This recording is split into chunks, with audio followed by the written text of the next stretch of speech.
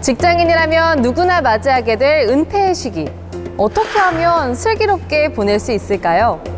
오늘은 국회도서관 book curation 기획도서 끝이 아닌 새로운 시작. 은퇴 후의 삶에 대한 책들 준비했는데요. 국회도서관과 함께하는 화제의 도서도 많은 기대 부탁드리고요. book curation 기획도서부터 만나보실까요? 자식에게만 기대는 시대는 이제 그만. 자신의 노후를 스스로 책임지는 셀프 부양 시대로 접어든 요즘 여기 두려운 노후를 안정된 노후로 바꾸는 시니어 설계서가 있습니다. 기존의 노후 대비책이 재테크나 건강과 취미를 중점적으로 다루었다면 책 노후 역전은 이뿐 아니라 인간관계와 죽음 준비까지 노후생을 총망라하여 현실 속에서 실현할 수 있는 바람직한 노후생의 실천 지침을 제시하고 있는데요.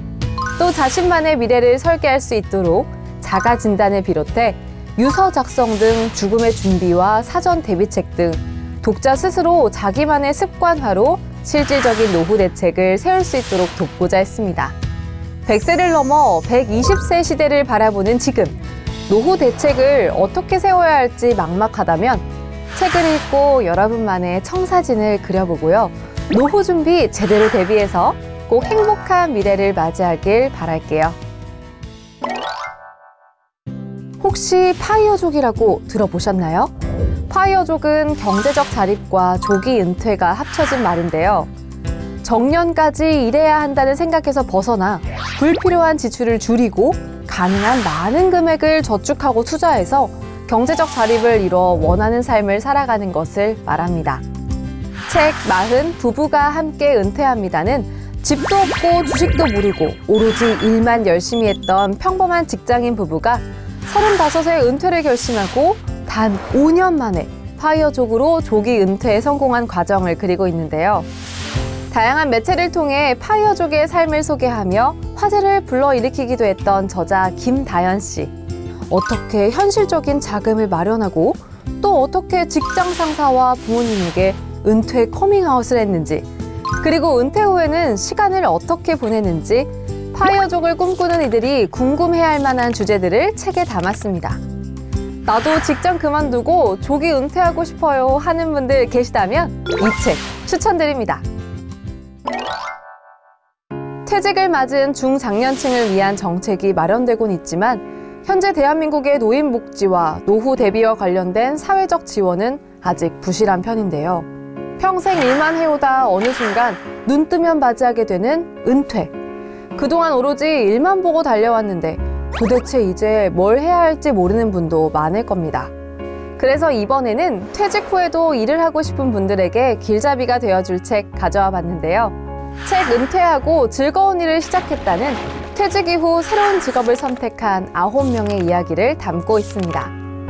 청소년 상담사라는 새로운 직업을 찾아 나선 사람부터 경력을 활용해 재취업한 사례, 또 와인 전문가나 사진관, 서점 등 평소 관심 있던 분야나 창업을 선택한 이와 귀농, 귀촌이나 사회공헌에 나선 이들의 이야기까지 책은 다양한 은퇴 후 직업에 대한 사례를 제시하고 있는데요.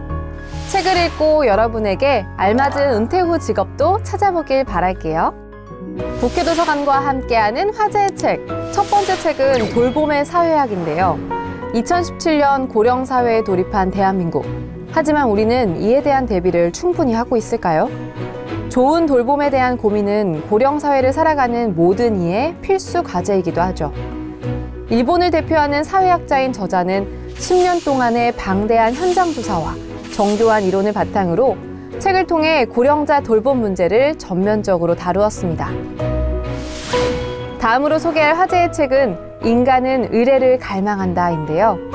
입학식에 모여 새 규칙을 익히는 학생들, 명절에 모여 차례를 지내는 가족들, 어느 생일 파티에서나 등장하는 케이크까지 허례허식처럼 보이는 다양한 의뢰들. 책은 지금 우리에게 의뢰가 필요한 이유에 대해 역설하며 나약한 개인을 막강한 사회로 만드는 의뢰의 힘에 관해 과학적으로 탐구하고자 했습니다. 마지막으로 소개할 화제의 책은 진화적 사고에 대한 이야기를 담은 책 살아남는 생각들의 비밀인데요. 기존 해결책의 패턴이 우리 곁에 존재한다는 생각에서 출발한 책은 혁신의 패턴을 알아보고 효과적으로 문제를 풀어나가는 묘안을 모색하며 어제의 통찰이 내일의 해결책이 되는 진화적 사고의 힘을 전하고자 했습니다. 오늘 뭐 읽지? 오늘은 은퇴에 대한 이야기를 나눠봤는데요. 여러분 모두에게 행복한 미래가 다가오길 바라면서 다음 주에도 새로운 책으로 다시 찾아오겠습니다. 고맙습니다.